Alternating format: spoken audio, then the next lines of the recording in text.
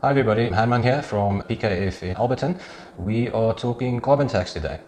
So I'm not a specialist. Lindie is, is with our audit department here in Alberton and we are going to discuss the logistics behind how to comply with the new carbon tax, who is going to be affected by it, and importantly, how much it's going to cost. So I'm just going to start with a general statement just to make sure that I don't miss something. The President signed the Carbon Tax Act into law, which was effective in 1 June 2019. Now, what they did along with this tax is they issued a, a schedule to give guidance to the taxpayer. The schedule is called Schedule 2. Schedule 2 of the Carbon Tax Act, which taxpayers' activities are liable for carbon tax. The schedule also sets the thresholds for carbon tax liability.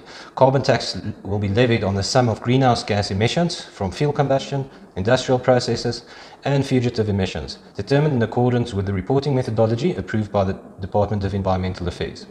Okay, so just to make a bit of more sense of this, I'm just going to have a chat with Lindie and just, just get a bit more clarity to, to help you as a taxpayer to start guiding you in terms of how you comply with this. So the most important question, Lindie, is just who's going to pay carbon tax? In broad terms. Uh, so it would be your primary emitters of carbon dioxide and other greenhouse gases. Um, in simple terms, if your business uh, activity directly emits any carbon dioxide or any other greenhouse um, gases, you will be taxed on the carbon ton equivalent. Okay, so from a compliance side, my first question is going to be what do I as a taxpayer then do in order to declare this tax? Does this work like my normal company tax return? Does it go onto my annual company tax submission, or how do I go about declaring that?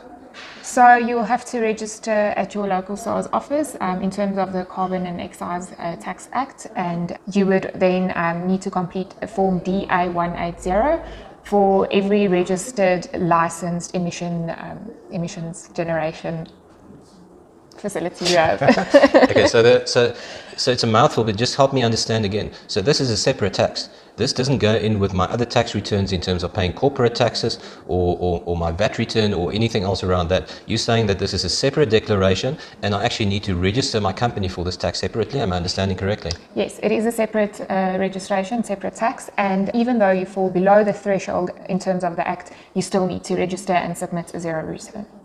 Okay, sorry, that's an important point. So you're saying that it could be that I'm not liable for this tax, but if I am an emitter in terms of everything that is listed in the Act, I still have to submit a return. Am I understanding correct? Yes, yes, you still have to submit a return. Okay.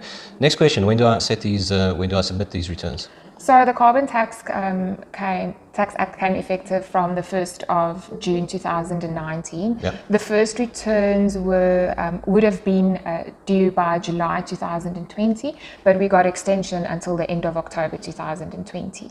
That will be for your period running from June 2019 to December 2019, and then the subsequent periods from there onwards would be from January to December. Okay, but hang on. I, am used to, if I do my company tax return, I'm used to, for instance, having a, a, company um, financial period that ends, for argument's sake, at 28 February. So my financial statements start from 1 March and they run up to 28 February each year. Are, are you saying that doesn't matter?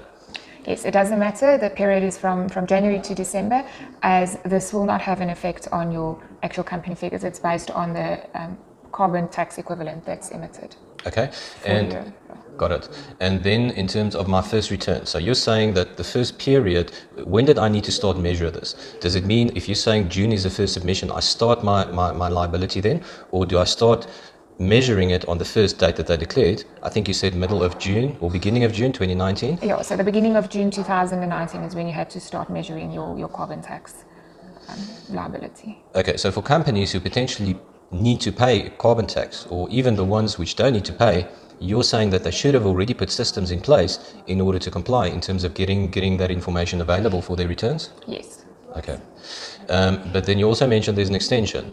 Uh, just just explain what the time periods are there. There's a three-month extension, so where you would have needed to submit by July 2020, you now only need to submit October 2020. Okay.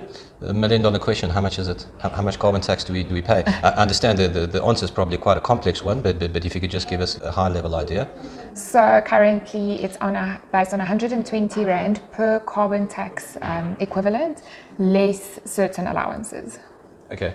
I have here, now that you were talking, you explained to me briefly beforehand that how the schedule works is the Act guides us as to the different types of gases or the different types of emissions, and then those are converted by way of formulas to the so-called carbon tax equivalent. So we're not only talking about somebody specifically emitting carbon or carbon carbon dioxide. It is, it is just a, a term that's being used and that is linked to any kind of greenhouse gases. Am I understanding correctly? Yes, yes. So other greenhouse gases would also be converted to a carbon tax equivalent with um, certain formulas within the Act. How complex is this? Complex. Okay. So, so this is not something that I could do quickly on, on, on the backs of a, of a matchbox. I'm assuming there, there's some relatively complex formulas behind all of these calculations. The formulas are quite complex, but the tax do the tax act do guide you on what they require of you, um, and what the, the input sh- should be. Okay. So the message is, um, you know, t- talk to a specialist is, is what it comes down to. Yeah, talk to a specialist, but it is doable. Okay, understood. Okay, guys, that's it from us um, on carbon taxes. So, with regards to you and managing your risk and your compliance um, from your company's perspective, we recommend contact your local auditor, contact your local tax partner within that auditor. PKF has specialists on board, like like Lindie, who is able to guide you um, through the process. So, please be aware that it could be that that you currently need to comply to this act and you're not aware of it. So, we invite you to contact us uh, to discuss that.